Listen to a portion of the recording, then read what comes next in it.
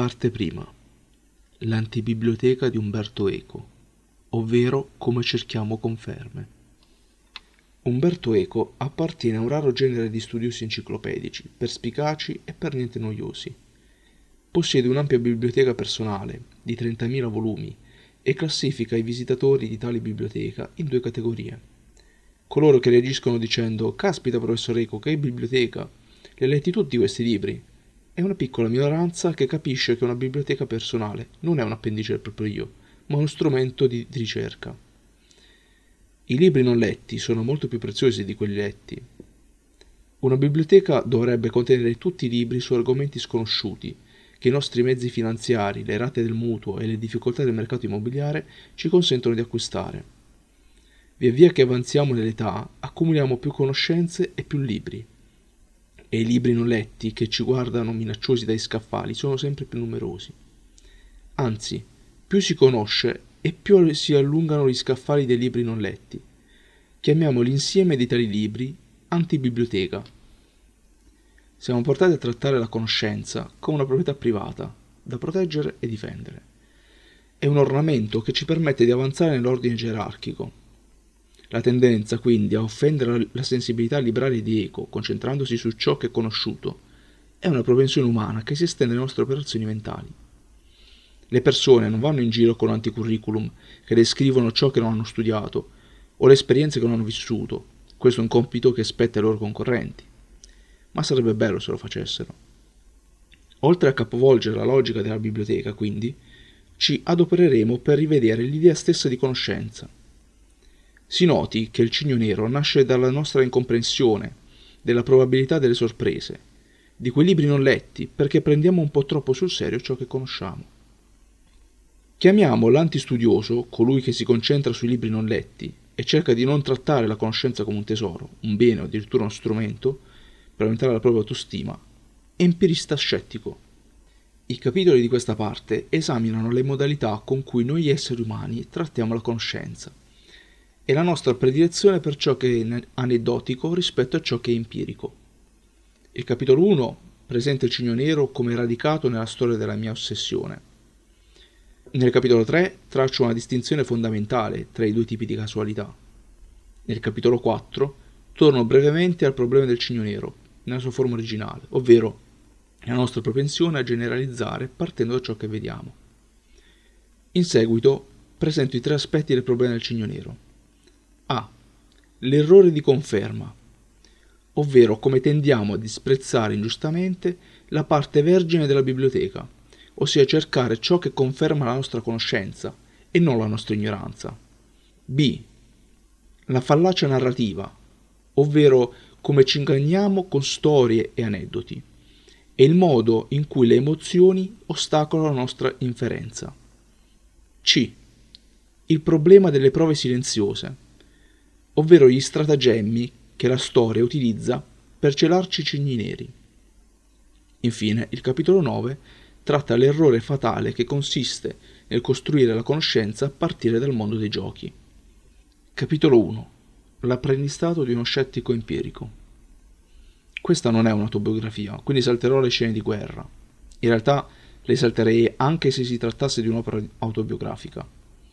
Non posso competere con i film d'azione e le memorie di avventurieri più navigati di me, e di conseguenza mi limiterò alle mie specialità, la probabilità e l'incertezza. Anatomia di un cigno nero. Per più di un millennio, la regione del Monte Libano, sulla costa orientale del Mediterraneo, fu in grado di accogliere una varietà di sette, etnie e fedi. Tutto funzionava a meraviglia la zona somigliava più alle grandi città del Mediterraneo orientale, il Levante, che alle aree interne del vicino Oriente. Era più facile spostarsi in nave che attraversare i territori montuosi. Le città levantine avevano una natura mercantile. La gente faceva affari attenendosi a un chiaro protocollo che garantiva la pace necessaria al commercio e le comunità socializzavano tra loro.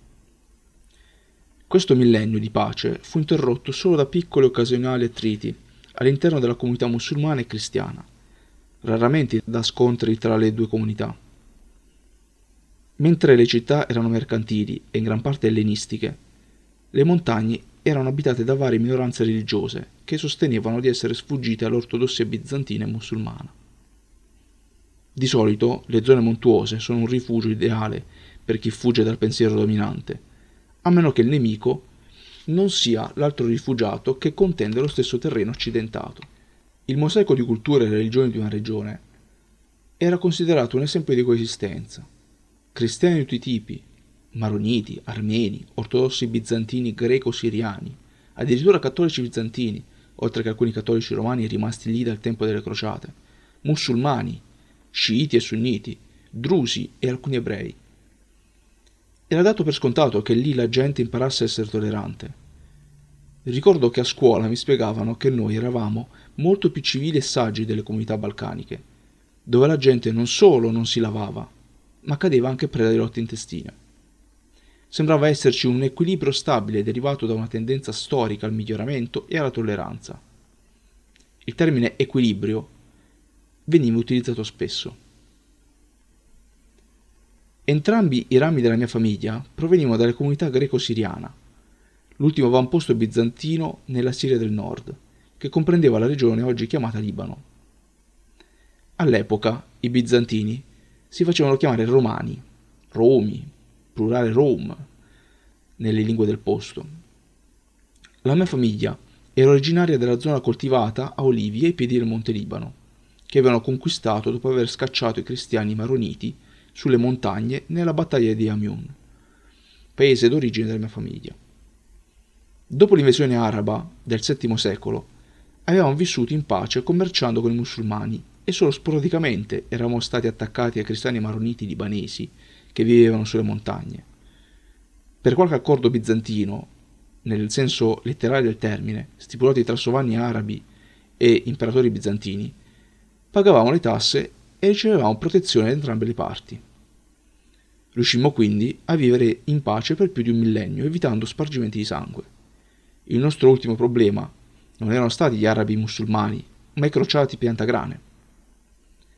Gli arabi, che sembravano interessati solo alla guerra e alla poesia, e più tardi i turchi ottomani, che sembravano attratti solo dalla guerra e dallo svago, lasciarono a noi la poco interessante attività del commercio e quelle meno pericolose legate alla cultura come la traduzione di testi aramaici e greci. Indubbiamente il paese chiamato Libano, al quale fummo repentinamente annessi dopo la caduta dell'impero ottomano all'inizio del XX secolo, concepito in modo tale da avere una predominanza cristiana, si presentava come un paradiso di stabilità. La gente fu sottoposta a un lavaggio del cervello per farle credere che lo Stato-nazione fosse un'entità reale è straordinario come si possa costruire una nazionalità in modo rapido ed efficace con una bandiera, qualche discorso e un inno nazionale. Ancora oggi evito il termine libanese e preferisco quello meno riduttivo di levantino. I cristiani si convinsero di essere all'origine e al centro di quella che veniva vagamente definita cultura occidentale, sia pure con un'apertura verso l'Oriente. Con un classico esempio di pensiero statico, nessuno prese in considerazione le differenze tra i tassi di natalità delle varie comunità. Si pensava che il paese sarebbe rimasto per sempre con una leggera maggioranza cristiana. Ai Levantini era stata concessa la cittadinanza romana, che aveva permesso a San Paolo, un siriano, di viaggiare liberamente nel mondo antico. Le persone si sentivano in contatto con tutto ciò con cui per loro valeva la pena essere in contatto.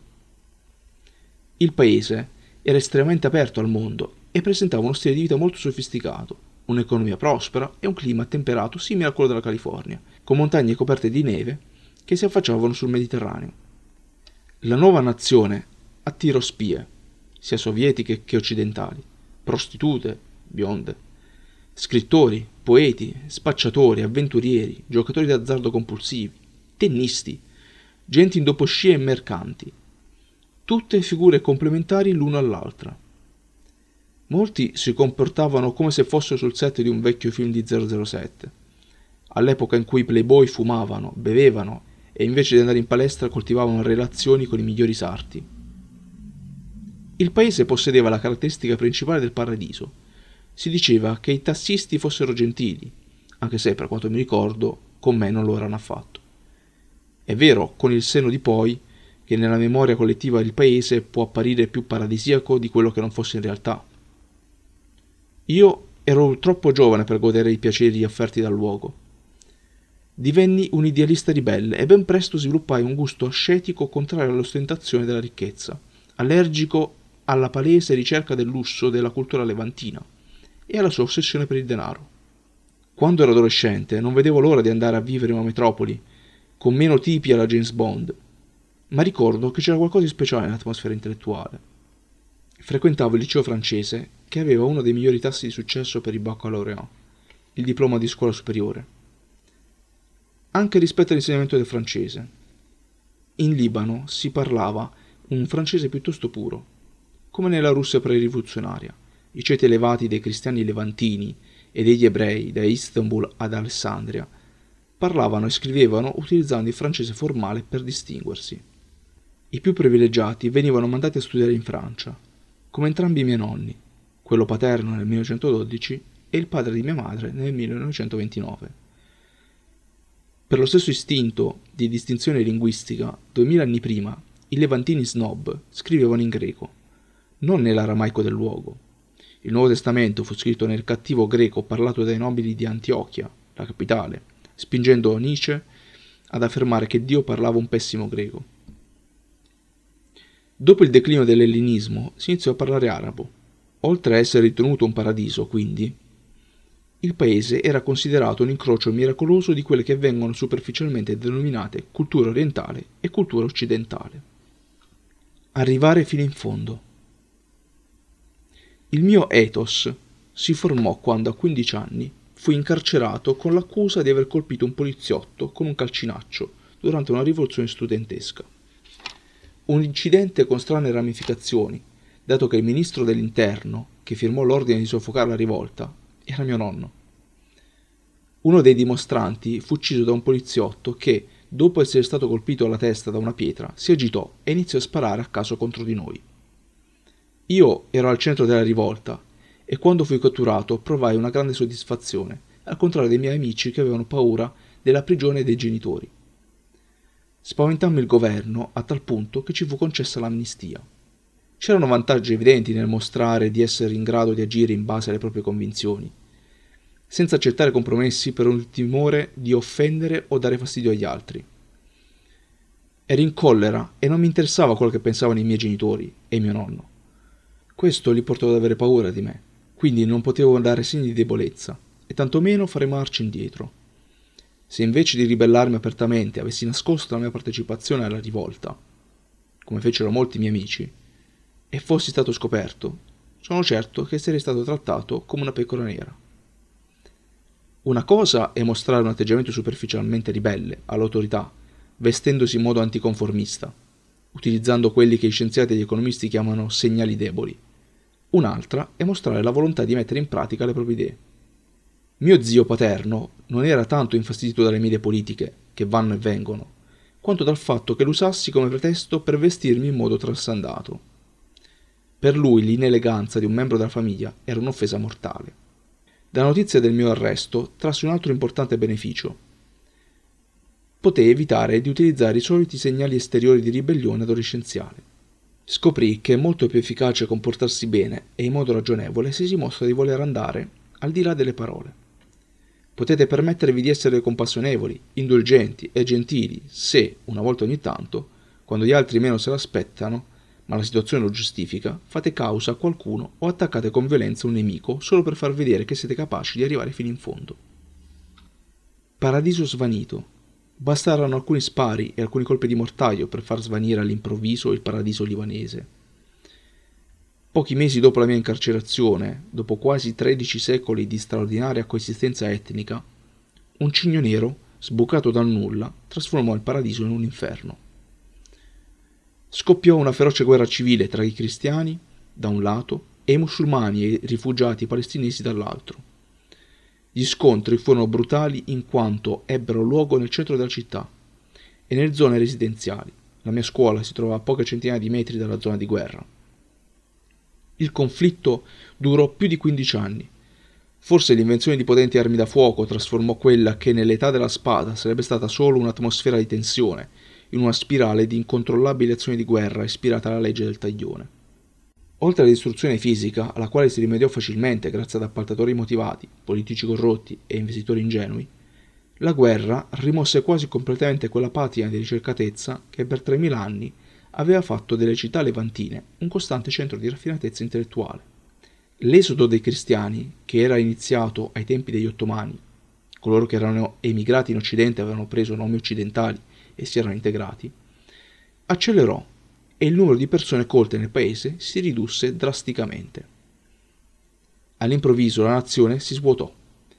È difficile trovare un rimedio alla fuga dei cervelli, quindi parte dell'antica raffinatezza intellettuale potrebbe essere andata persa per sempre. La notte stellata.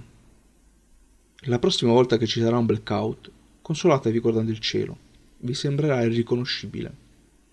Durante la guerra a Beirut veniva spesso a mancare l'elettricità e prima che la gente iniziasse a comprare generatori, nella parte della città più lontana dalla zona dei combattimenti, il cielo di notte era limpido, data la mancanza di inquinamento luminoso. Private dalla televisione, le persone andavano a vedere le luci delle battaglie notturne Sembrava che preferissero correre il rischio di essere colpite da un mortaio piuttosto che trascorrere una serata noiosa. Si vedevano benissimo le stelle. Al liceo mi avevano detto che i pianeti erano in una sorta di equilibrio e che quindi non dovevamo temere che le luci ci colpissero inaspettatamente. Questo mi ricordava in modo inquietante i discorsi sull'eccezionale stabilità storica del Libano. L'idea stessa di un presunto equilibrio mi nervosiva. Guardavo le costellazioni in cielo e non sapevo a che cosa credere. La storia è la triade dell'opacità. La storia è opaca. Si vedono i risultati, ma non il copione che produce gli eventi, il generatore della storia. Nella nostra comprensione degli eventi vi è un'incompletenza sostanziale, poiché non sappiamo cosa ci sia dentro la scatola, come funziona il meccanismo. Quello che chiamo generatore degli eventi storici è distinto dagli eventi in sé così come la mente degli dei non può essere compresa osservando le loro azioni. Sarebbe molto facile fraintendere le loro azioni. Questa distinzione è simile alla differenza tra il cibo che viene servito a tavola e ciò che avviene nelle cucine di un ristorante. L'ultima volta che ho mangiato in un ristorante cinese in Canal Street a Manhattan ho visto un topo uscire dalla cucina. Quando la mente umana entra in contatto con la storia, soffre di tre disturbi, ossia di quella che chiamo triade dell'opacità. I disturbi sono i seguenti. 1. L'illusione della comprensione, ossia il fatto che ognuno di noi crede di sapere come stanno le cose in un mondo che è molto più complicato o casuale di quello che pensiamo. 2. La distorsione retrospettiva, ossia il fatto che possiamo valutare le cose solo dopo che sono avvenute, come se le vedessimo in uno specchietto retrovisore. La storia sembra più chiara e organizzata nei libri di storia che nella realtà empirica. 3. La sopravvalutazione delle informazioni fattuali e l'handicap delle persone autorevoli e colte, in particolare quando creano categorie, quando platonizzano. Nessuno sa come stanno le cose. Il primo elemento della triade è la patologia di chi pensa che il mondo in cui viviamo sia più comprensibile, più spiegabile e quindi più prevedibile di quanto non sia effettivamente. Gli adulti mi dicevano sempre che la guerra, che finì per durare quasi 17 anni, sarebbe finita in pochi giorni. Sembravano piuttosto sicuri della loro previsione, come dimostrava il numero di persone che rimanevano in stanze d'albergo e in altre abitazioni temporanee a Cipro, in Grecia, in Francia e altrove ad aspettare che la guerra finisse. Un mio zio continuava a raccontarmi che quando i ricchi palestinesi si erano trasferiti in Libano, circa 30 anni prima, quella soluzione veniva considerata del tutto temporanea. 60 anni dopo, i sopravvissuti di quell'ondata vivono ancora lì. Tuttavia, quando gli chiesi se sarebbe successo la stessa cosa con la nostra guerra, mi rispose: No, certo che no. Questo paese è diverso. È sempre stato diverso per qualche strana ragione, quello che mio zio vedeva negli altri non sembrava applicabile a lui stesso. Questa cecità alla durata è una malattia molto diffusa tra gli esuli di mezza età. Più tardi, quando decisi di evitare l'ossessione degli emigrati per le loro radici, che penetrano troppo a fondo nella loro personalità, studiai la letteratura sull'esilio, proprio per evitare le trappole di una nostalgia logorante e ossessiva. Quegli esuli sembravano prigionieri dei ricordi delle loro origini idilliache, si sedevano con altri prigionieri del passato, parlavano del loro vecchio paese, mangiavano il loro cibo tradizionale, mentre in sottofondo suonavano musiche della loro terra. Continuavano a fare simulazioni mentali, creando scenari alternativi, che avrebbero potuto evitare quelle spaccature storiche. Per esempio, se lo Shah non avesse scelto come primo ministro quell'incompetente, saremmo ancora nel nostro paese. Dal loro punto di vista, la rottura storica aveva una causa specifica ed erano convinti che la catastrofe sarebbe stata evitata rimuovendo tale causa. Parlavo con tutti gli esuli che riuscivo a trovare per sapere come vivevano il loro esilio quasi tutti si comportavano nello stesso modo. Si sentono spesso storie di rifugiati cubani che negli anni 60, dopo l'avvento del regime di Castro, si trasferirono solo per pochi giorni a Miami, con le valigie mezze vuote. O di profughi iraniani a Parigi e a Londra, che fuggirono dalla Repubblica Islamica nel 1979, pensando di andarsene per un breve periodo. A distanza di oltre un quarto di secolo, alcuni stanno ancora aspettando di tornare al loro paese Molti russi che emigrarono nel 1917, come lo scrittore Vladimir Nabokov, si stabilirono a Berlino, forse perché da lì potevano tornare velocemente in patria. Lo stesso Nabokov visse per tutta la vita in abitazioni temporanee, a volte indigenti, altre volte lussuose, e morì al Palazzo Hotel di Montreux, sulle sponde del lago di Ginevra. La storia non striscia, salta. Quando in seguito ripercorsi i fatti della guerra mentre elaboravo la mia idea sulle percezioni degli eventi casuali, ebbi la netta impressione che la nostra mente sia una magnifica macchina da spiegazione capace di trovare un senso quasi ovunque, di escogitare giustificazioni per ogni tipo di fenomeno, ma generalmente incapace di accettare l'idea dell'imprevedibilità. Questi eventi erano inspiegabili, tuttavia persone intelligenti pensavano di essere in grado di fornire spiegazioni convincenti a posteriori. E più le persone erano intelligenti, più la spiegazione sembrava calzante. La cosa più preoccupante è che tutte queste convinzioni e queste ricostruzioni sembrano logicamente coerenti e prive di contraddizioni. Data la situazione, da adolescente lasciai il Libano, ma tornai spesso a trovare molti parenti e amici che erano rimasti nel paese, soprattutto durante il conflitto. La guerra non fu continua, vi furono periodi di combattimento interrotti da soluzioni permanenti, nei momenti difficili mi sentivo più vicino alle mie radici e avvertivo la necessità di tornare per dare sostegno a coloro che erano rimasti e che spesso si sentivano demoralizzati dalle partenze e invidiosi degli amici più fortunati che potevano andare alla ricerca di una sicurezza economica e personale e tornavano in vacanza in Libano solo durante le sporadiche tregue. Quando non ero in Libano non riuscivo a lavorare né a leggere perché lì la gente moriva. Ma paradossalmente, quando ero in Libano, Ero meno toccato dagli eventi e riuscivo a coltivare i miei interessi intellettuali senza provare sensi di colpa. Stranamente, durante la guerra, la gente organizzava molte feste e il gusto per lo sforzo aumentò, il che rendeva le mie visite piuttosto piacevoli, nonostante i combattimenti. C'erano alcune domande difficili. Come si poteva prevedere che da un momento all'altro un popolo che sembrava un modello di tolleranza si sarebbe trasformato in un'onda di barbari? Perché il cambiamento era stato così netto? All'inizio pensavo che forse la guerra libanese era davvero impossibile da prevedere, a differenza di altri conflitti, e che i levantini erano una razza troppo complicata. Poi, quando iniziai a prendere in considerazione tutti i grandi eventi della storia, pian piano capii che la loro irregolarità non era una caratteristica locale. Il Levante ha prodotto moltissimi eventi di grande importanza che nessuno aveva previsto. Chi aveva previsto l'ascesa del cristianesimo come religione dominante nel bacino del Mediterraneo e poi in tutto il mondo? I cronisti romani del tempo non fecero neanche un accenno alla nuova religione. Gli storici del cristianesimo sono stupiti dell'assenza di menzioni da parte dei contemporanei. A quanto pare, pochi personaggi di rilievo presero le idee di un ebreo apparentemente eretico, abbastanza sul serio da pensare che avrebbe lasciato traccia di sé ai posteri. Esiste un solo riferimento dell'epoca Gesù di Nazareth, nella guerra giudaica di Flavio Giuseppe che però potrebbe essere stato aggiunto successivamente da un copista devoto. E che dire della religione concorrente che nacque sette secoli dopo? Chi poteva prevedere che in pochi anni un gruppo di cavalieri sarebbe riuscito a espandere il proprio impero e a diffondere la legge islamica dal subcontinente indiano alla Spagna? E ancora di più delle, dell'avvento del cristianesimo. La diffusione dell'Islam fu del tutto imprevedibile. Molti storici sono stupefatti della rapidità del cambiamento.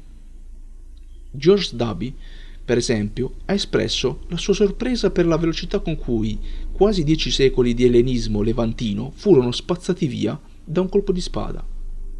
Un altro storico, anch'egli membro del Collège de France, Paul Vane, ha parlato giustamente di religioni che si diffusero come bestseller, un paragone che indica imprevedibilità.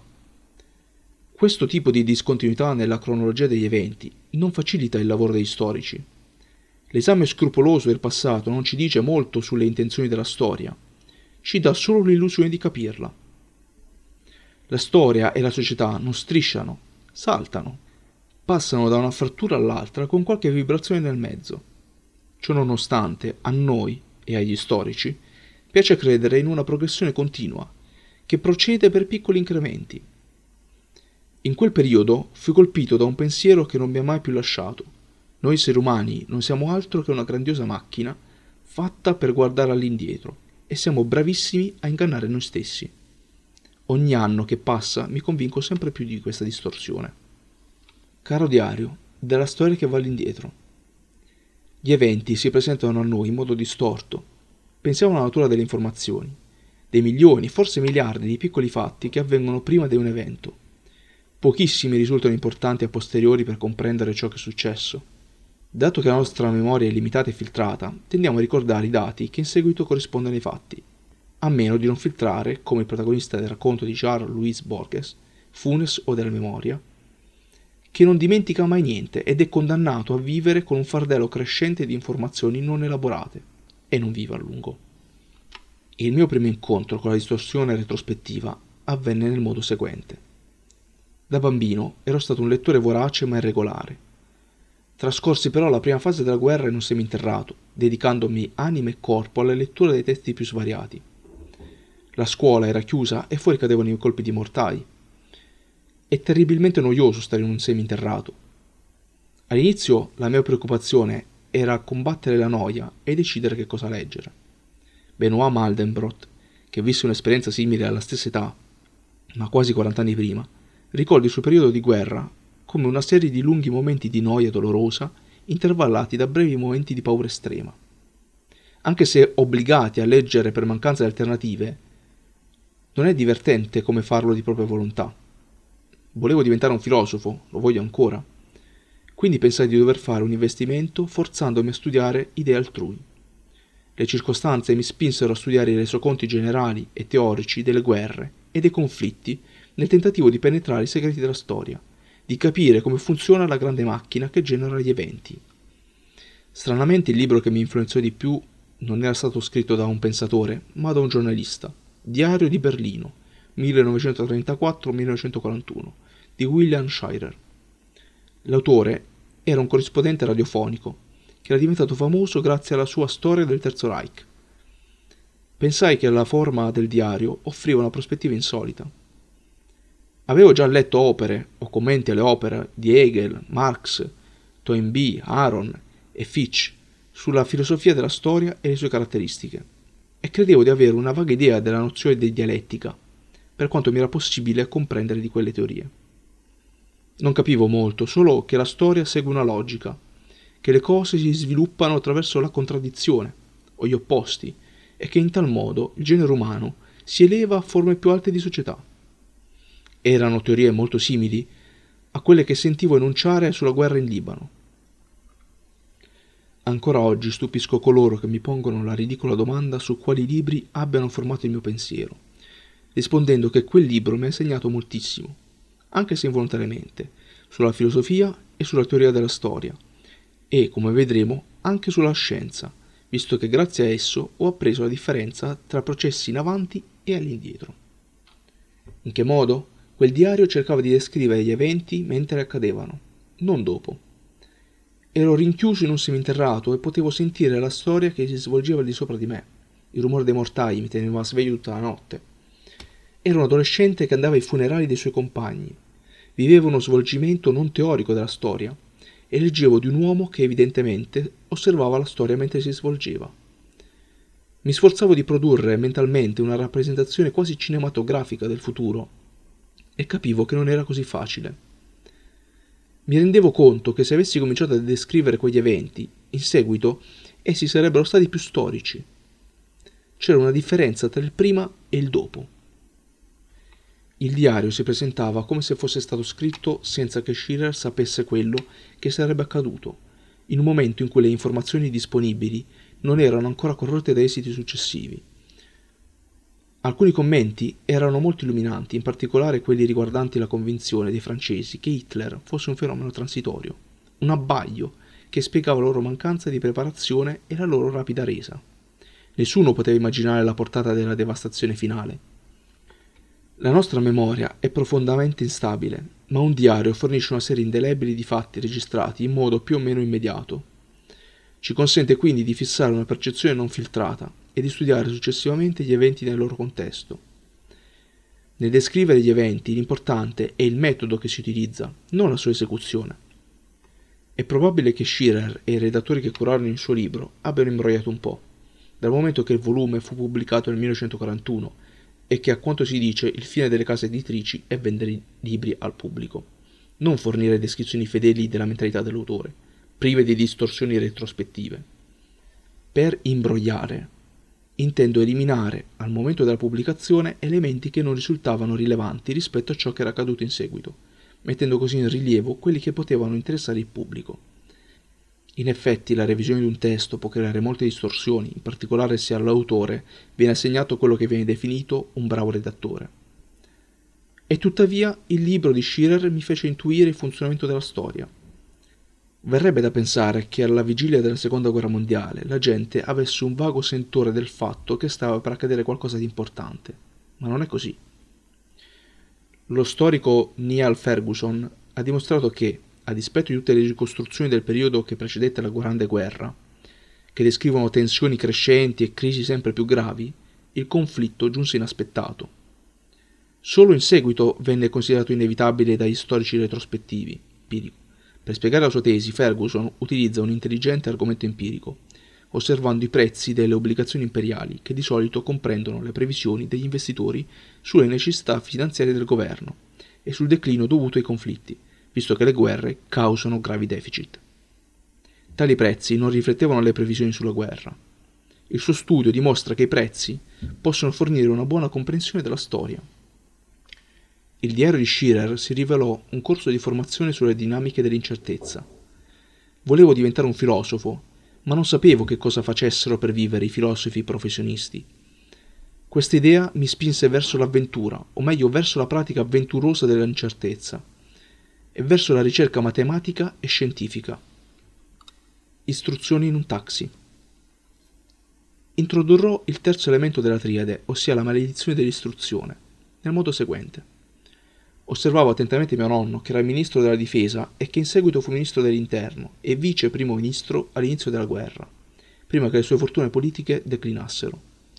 Nonostante la sua posizione, mio nonno non aveva idea di quello che stava per accadere più di quanto l'avesse il suo autista, Mikhail. Ma, a differenza di mio nonno, Mikhail era solito commentare gli eventi dicendo Dio solo lo sa, trasferendo più in alto il compito della comprensione. Notai che rispetto ai tassisti, le persone intelligenti e istruite non presentavano una maggiore capacità di fare previsioni, ma c'era una differenza sostanziale. I tassisti non ritenevano di comprendere la situazione quanto le persone istruite. Non erano esperti e lo sapevano. Nessuno sapeva niente, ma i pensatori di ceti colti erano convinti di sapere più degli altri perché facevano parte di un'elite. E se si fa parte di un'elite, si sa automaticamente più di coloro che non ne fanno parte. Non solo la conoscenza, ma anche le informazioni possono essere di dubbio valore. Durante la guerra constatai che quasi tutti erano a conoscenza degli eventi nei minimi dettagli. I giornali erano talmente simili che più si leggeva e meno informazioni si ottenevano. Eppure la gente era talmente impaziente di conoscere i fatti da leggere qualsiasi documento stampato e ascoltare tutte le stazioni radio, come se il notiziario successivo potesse rivelare la grande risposta. Le persone divennero enciclopedie di informazioni su chi aveva incontrato chi e quale politico aveva detto una cosa all'altro politico e anche con quale tono di voce è stato più amichevole del solito, ma inutilmente. Raggruppamenti. Durante la guerra del Libano notai che i giornalisti tendevano a raggrupparsi non necessariamente intorno alle stesse opinioni, ma spesso intorno allo stesso quadro analitico. Assegnavano la medesima importanza alle medesime circostanze e dividevano la realtà nelle stesse categorie. Un'altra manifestazione della platonicità, del desiderio di dividere la realtà in forme ben definite. Quello che Robert Fisk chiama giornalismo d'albergo aumentò ulteriormente il contagio mentale. Mentre per il giornalismo precedente il Libano faceva parte del Levante, ossia del Mediterraneo orientale, all'improvviso entrò a far parte del Medio Oriente, come se qualcuno l'avesse trasportato più vicino alle sabbie dell'Arabia Saudita. L'isola di Cipro, che si trova a circa 100 km dal mio villaggio nel Libano settentrionale, e aveva cibo, chiese e usi quasi identici, entrò improvvisamente a far parte dell'Europa. Naturalmente la gente di entrambe le parti ne fu condizionata, se in un passato si distingueva tra Mediterraneo e non Mediterraneo, ossia tra l'olio d'oliva e il burro, negli anni 70 si iniziò improvvisamente a parlare di Europa e non Europa. E siccome l'Islam si trova nel mezzo, non si sapeva dove collocare i cristiani o gli ebrei di lingua araba. Categorizzare è necessario per esseri umani, ma diventa patologico se le categorie sono considerate fisse e impediscono di prendere in considerazione l'indeterminatezza dei confini o la possibilità di modificarli.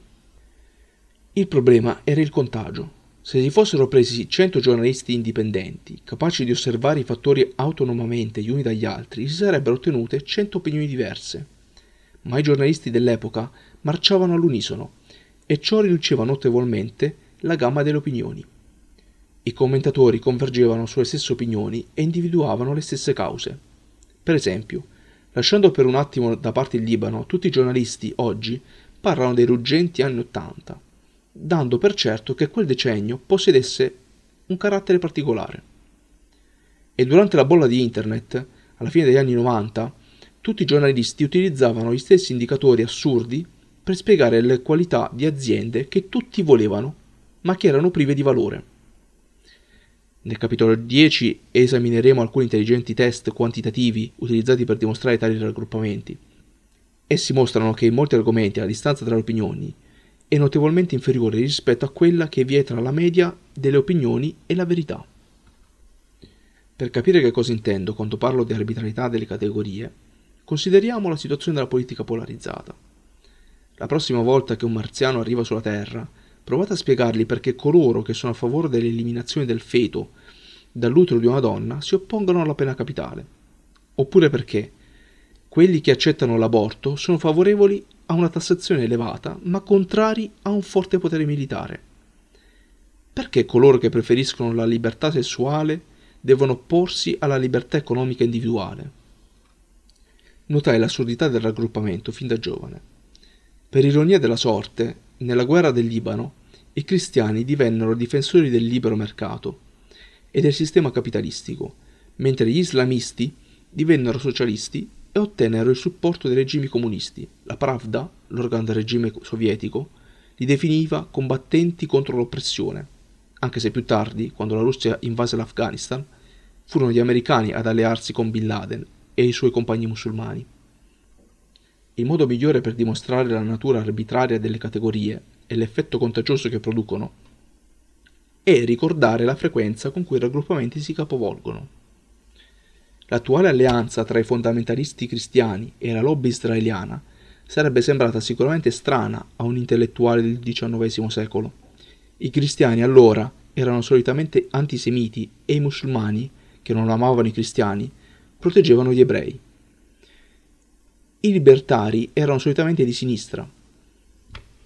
Essendo un probabilista, ciò che mi interessa è che alcuni eventi casuali portino due gruppi che inizialmente supportano cause diverse ad allearsi, facendo sì che le due cause si fondano e si unifichino, fino alla sorpresa della separazione.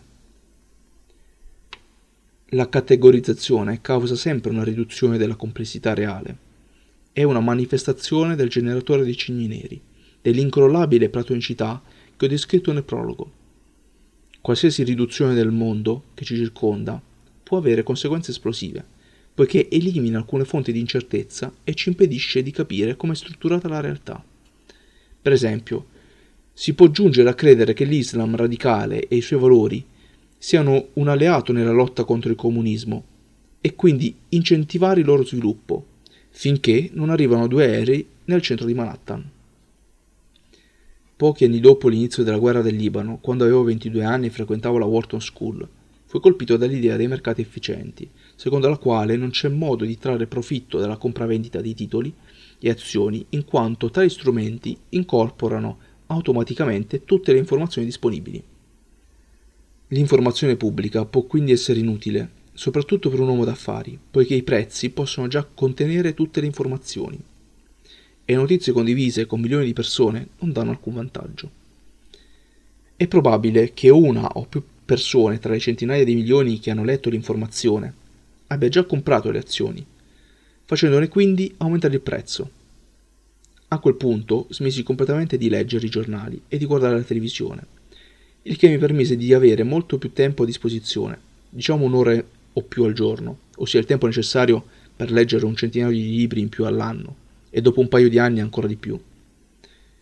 Questo, tuttavia, non è l'unico argomento addotto nel presente libro contro la lettura dei giornali. Come vedremo, si ottengono altri benefici se si evita la tossicità dell'informazione. All'inizio questa fu per me una buona scusa per non dovermi tenere informato sulle minuzie del mondo degli affari. Un alibi perfetto dal momento che non trovavo niente di interessante nei dettagli di quel mondo, che è inelegante, monotono, pomposo, avido, per niente intellettuale, egoista e noioso. Dov'è lo spettacolo? Non riesco ancora a capire come un uomo che vuole diventare filosofo, o filosofo della storia, possa finire a studiare economia e in più alla Wharton School. Lì compresi che un politico insignificante di un piccolo e antico paese e il suo autista filosofo Mikhail non erano gli unici a non capire come stavano le cose. Dopotutto è normale che gli abitanti dei piccoli paesi non sappiano, ma in una delle più prestigiose scuole di economia del mondo, nel paese più potente della storia, era possibile che anche i dirigenti di alcune aziende importanti che venivano a descrivere le loro attività non sapessero come stavano le cose. Anzi, dal mio punto di vista, non era una possibilità, ma una certezza. Mi sentivo addosso il peso dell'arroganza epistemica della razza umana. Capì allora che il punto di forza del sistema del libero mercato è il fatto che i dirigenti delle imprese non sono tenuti a sapere come stanno le cose. Divenne un'ossessione Fu a quel punto che iniziai a prendere coscienza del tema che mi interessava. L'evento rilevante altamente improbabile. Non erano solo i dirigenti aziendali ben vestiti e pieni di testosterone a essere ingannati dalle concentrazioni di fortuna, ma anche persone di grande cultura. Questa consapevolezza trasformò il mio cigno nero da un problema di fortuna o sfortuna personale negli affari in un problema epistemologico e scientifico. Non solo sono convinto che alcuni risultati scientifici siano inutili nella vita reale, perché sottovalutano l'impatto dell'altamente improbabile o ci portano a ignorarlo, ma anche che molti di tali risultati possono addirittura generare cigni neri. Non si tratta di semplici errori tassonomici, di quelli che provocano la bocciatura di un esame di ornitologia. Iniziai a vedere le conseguenze di tale idea. 4 kg dopo. Quattro anni e mezzo dopo essere uscito dalla Wharton, e con 4 kg in più, il 19 ottobre 1987, stavo tornando a casa nell'Upper East Side dalla sede della banca di investimenti Credit Suisse First Boston di Midtown Manhattan, dove lavoravo. Camminavo lentamente ed ero in uno stato confusionale. Quel giorno era accaduto un evento finanziario drammatico il più grande crollo del mercato azionario della storia recente. Fu ancora più drammatico poiché avvenne in un periodo in cui eravamo convinti di essere diventati abbastanza sofisticati grazie a tutti gli economisti platonizzati dalla parlantina intelligente con le loro equazioni fasulle basate sulla curva campana, da evitare o perlomeno da riuscire a prevedere e controllare le grandi scosse. Il crollo non era neanche dovuto a una notizia particolare. Il verificarsi di quell'evento era inimmaginabile il giorno prima. Se ne avessi prospettato la possibilità, mi avrebbero dato del pazzo. Aveva tutti i requisiti del cigno nero, ma all'epoca non conoscevo ancora questa espressione. In Park Avenue incontrai un collega, Demetrius. Quando iniziamo a parlare, una donna in preda all'ansia, abbandonando le sue inibizioni, si intromise nella conversazione. Ehi, voi due, sapete che cosa sta succedendo? La gente sul marciapiede era sbalordita. Poco prima avevo visto alcuni adulti singhiozzare in silenzio nella trading room della First Boston. Avevo passato l'intera giornata nell'epicentro degli eventi, con persone in preda al panico che correvano come conigli davanti ai fari di un veicolo. Quando arrivai a casa mi chiamò mio cugino, Alexis, per dirmi che il suo vicino si era suicidato gettandosi dalla finestra. Io non mi sentivo neanche strano. Era come in Libano, ma con una differenza. Avendo vissuto entrambe le situazioni, mi colpì il fatto che un disastro finanziario potesse demoralizzare più di una guerra. Basti pensare che i problemi finanziari e le conseguenti umiliazioni possono portare al suicidio, mentre le guerre in genere no. Temevo una vittoria di Pirro. Avevo avuto ragione, ma temevo di averne avuta troppa e di veder crollare il sistema. Non volevo aver così tanta ragione. Non dimenticherò mai il povero Jimmy P che, mentre vedeva il proprio valore patrimoniale andarsene in fumo, continuava a implorare, tra il serio e il faceto, il prezzo sullo schermo affinché non calasse ulteriormente. Capì in quell'occasione che non me ne fregava niente dei soldi. Provai la sensazione più strana della mia vita, un assordante suono di tromba che mi annunciava che avevo ragione, così forte da farmi vibrare le ossa. Non avevo mai provato una cosa del genere e non riuscirò mai a spiegarla a coloro che non l'hanno vissuta. Fu una sensazione fisica, forse un misto di gioia, orgoglio e terrore. Sentivo che avevo avuto ragione? Perché? Nel primo o nel secondo anno dopo il mio arrivo alla Wharton avevo sviluppato una capacità particolare ma strana. Scommettere su eventi rari e inattesi, quelli che si trovavano nella piega platonica, considerati inconcepibili dagli esperti platonici. La piega platonica, lo ricordo, è il luogo in cui la nostra rappresentazione della realtà cessa di essere applicabile, senza che noi lo sappiamo. Ben presto mi dedicai alla professione della finanza quantitativa. Divenni simultaneamente un quant e un trader. Un quant è una specie di scienziato industriale che applica modelli matematici dell'incertezza a dati finanziari o socio-economici e a compresi strumenti finanziari. Solo che io ero esattamente il contrario di un quant. Studiavo il flusso e i limiti di quei modelli e cercavo la piega platonica in cui non, non funzionano più. Mi dedicai anche al trading speculativo e non solo a parole, il che era raro per i quants, dal momento che il loro ruolo era quello di analizzare e non di prendere decisioni e correre dei rischi. Ero convinto di essere totalmente incompetente nel prevedere i prezzi del mercato ma che anche gli altri in genere lo fossero. Solo che non lo sapevano, o non sapevano di correre dei grandi rischi. La maggior parte dei trader raccoglieva monetine davanti a un rullo compressore, esponendosi al rischio di un evento raro dall'impatto elevato. Eppure, dormivano come bambini, del tutto ignari. Il mio era l'unico lavoro possibile per una persona che pensava di odiare il rischio e di essere consapevole dei pericoli e di essere profondamente ignorante. Inoltre, il bagaglio tecnico necessario per essere un quant, un misto di matematica applicata, ingegneria e statistica, oltre all'immersione della pratica, si rivelò molto utile per qualcuno che desiderava diventare un filosofo. Mi specializzai in complessi strumenti finanziari chiamati derivati, che richiedono una matematica avanzata, ma in cui l'utilizzo di una matematica sbagliata porta errori maternali. L'argomento era abbastanza nuovo e affascinante da spingermi a conseguire un dottorato. Non fui in grado di costruirmi una carriera solo scommettendo sui cini neri. Non c'erano abbastanza possibilità, ma riuscii a evitarli proteggendo il mio portafoglio da partite consistenti. Al fine di eliminare la dipendenza dal caso, quindi, mi concentrai sulle inefficienze tecniche tra gli strumenti complessi e sfruttai queste opportunità senza espormi all'evento raro, prima che tali inefficienze sparissero grazie all'avanzamento tecnologico dei miei concorrenti. Più avanti scoprì un business più facile e meno minacciato dal caso, che consiste nel proteggere, con una sorta di assicurazione, i grandi portafogli dal cigno nero. In primo luogo, se si passano vent'anni a sottoporre i dati a un enorme lavoro empirico e si corrono rischi basandosi su tali studi, si riesce facilmente a individuare nella struttura del mondo elementi che i pensatori platonizzati non riescono a scorgere, perché sono stati sottoposti a troppi lavaggi del cervello o perché sono troppo minacciati. In secondo luogo, l'esperienza mi permise di diventare formale e sistematico nel mio modo di pensare, invece di indugiare nell'aneddotico.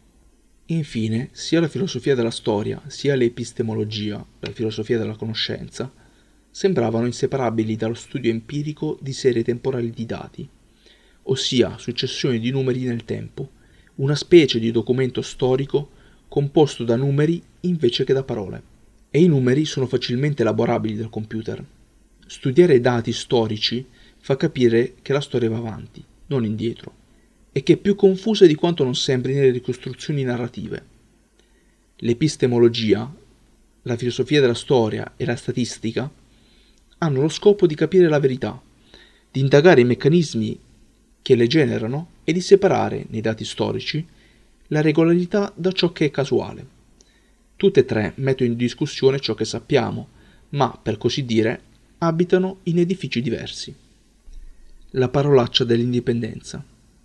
Quella notte, il 19 ottobre 1987, dormì per 12 ore consecutive era difficile spiegare ai miei amici, col tutti colpiti in qualche modo dal crollo, la soddisfazione che provavo per aver avuto ragione. A quel tempo le gratifiche non erano alte come quelle di oggi, ma se la società per cui lavoravo, la First Boston, e il sistema finanziario fossero sopravvissuti fino alla fine dell'anno, avrei ricevuto l'equivalente di una sostanziosa borsa di studio.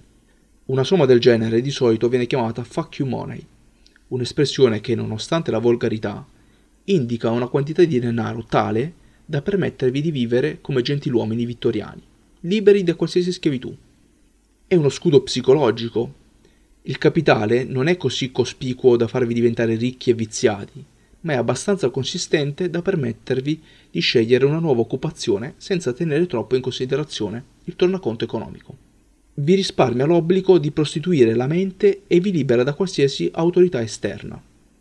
L'indipendenza è specifica per ogni persona. Mi ha sempre colpito l'elevato numero di situazioni in cui un guadagno incredibile conduce a un maggiore servilismo, in quanto le persone diventano ancora più dipendenti dai loro clienti e dai loro datori di lavoro e vogliono fare sempre più soldi.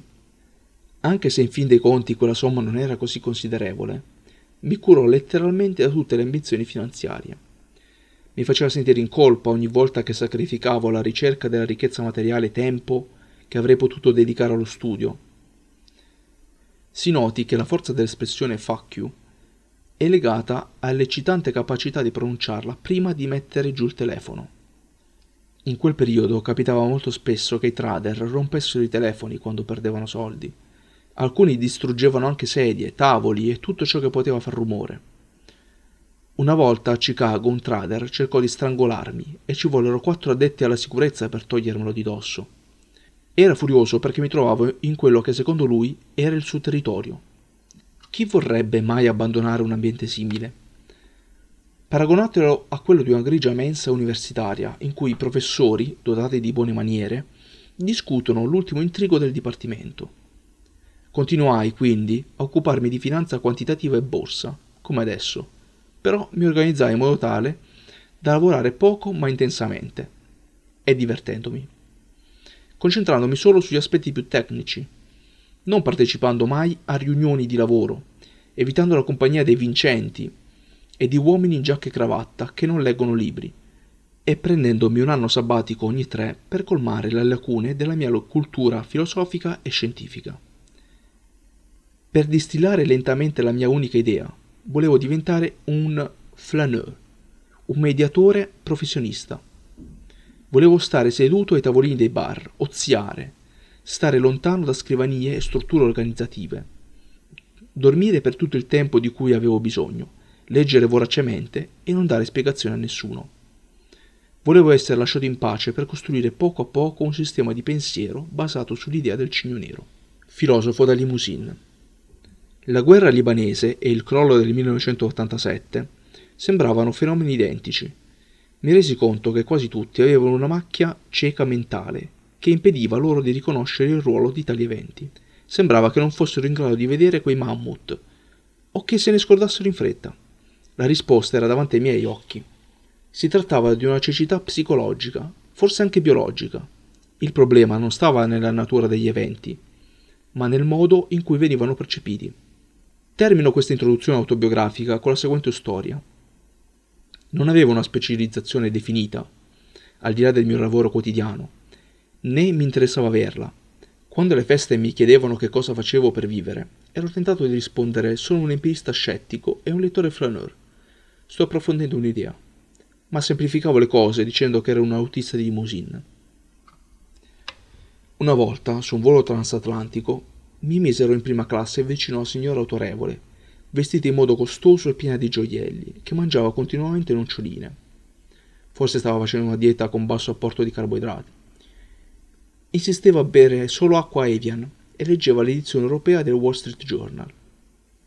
Quando si accorse che stavo leggendo un libro in francese del filosofo e sociologo Pierre Bourdieu, che per ironia della sorte parlava dei segni di distinzione sociale, cercò a più riprese di avviare una conversazione in un francese mediocre. Le dissi, in inglese, che ero un autista di limousine e mi vantai di guidare solo auto molto aristocratiche. Per il resto del volo regnò un silenzio di tomba, ma nonostante la tensione riuscì a leggere in pace.